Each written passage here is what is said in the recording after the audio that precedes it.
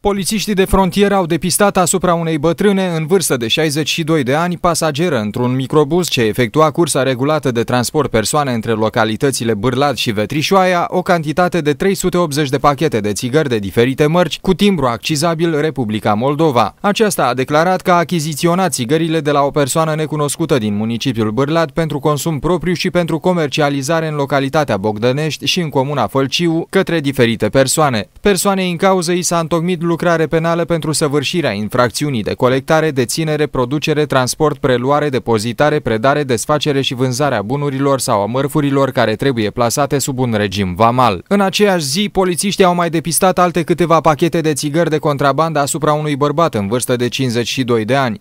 Acesta avea ascunse și nedeclarate în cabina autocamionului și în spațiile destinate bagajelor 55 de pachete de țigări. Bărbatul era la a doua tentativă de contrabandă cu țigări, motiv pentru care i-a fost întocmit dosar penal.